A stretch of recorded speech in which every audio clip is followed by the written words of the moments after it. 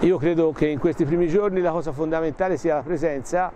presenza che dovrà servire per eh, dissuadere chi ancora non ha capito come si circola, eh, aiutare a prendere il senso di marcia giusto e in certi orari eh, renderci conto di, di, di, delle, di, quelli che possono essere i problemi, in modo da riferire eh, affinché l'amministrazione eventualmente possa prendere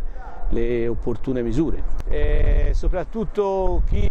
frequenta eh, la città tutti i giorni viaggia più per abitudine che non perché guarda la segnaletica e, e quindi bisognerà capire eh, questo cambiamento di abitudini cosa comporterà, cioè quante persone ora passano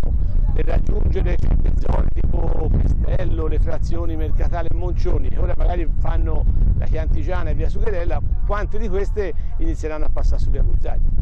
Sì, è un, è un, un punto, questo direi, questo incrocio è un punto importante, eh, c'è l'uscita dei mezzi dall'autostazione, sicuramente da qui usciranno i mezzi pesanti che eh, sono costretti a gravitare per le attività che ci sono in questo tratto di via Burzagli, ecco ce ne sono di, di attività che hanno, necessitano anche di mezzi più pesanti. Sicuramente una, una diminuzione probabilmente ci sarà. Su Viale Diaz direi e sulla Chiantigiana,